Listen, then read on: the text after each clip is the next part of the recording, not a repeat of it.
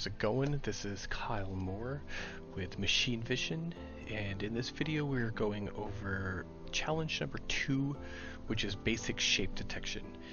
Um, so basically we are using an OpenMV H7 and the OpenMV IDE, and I will throw up the code on the screen for you to take a look at. Feel free to pause the video if you uh, want to see it a little more in detail.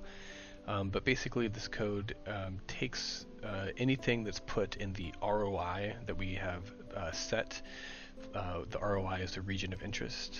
Um, anything that's put in there uh, uh, throws out a certain number of pixels um, based on uh, its size, its shape, um, the color of it, sometimes even the sheen. And so, you know, whether it be a large black square or a white shiny circle large or anything that you put in uh, the ROI. Um, but the shapes that we have uh, have tested and put in there give off a certain range, and so depending on the range of those things, uh, the code uh, will show that it is a white triangle large or a small square black or so on and so forth. So it's uh, pretty neat. Um, it also counts uh, how many um, you have put in there, um, which is uh, nice.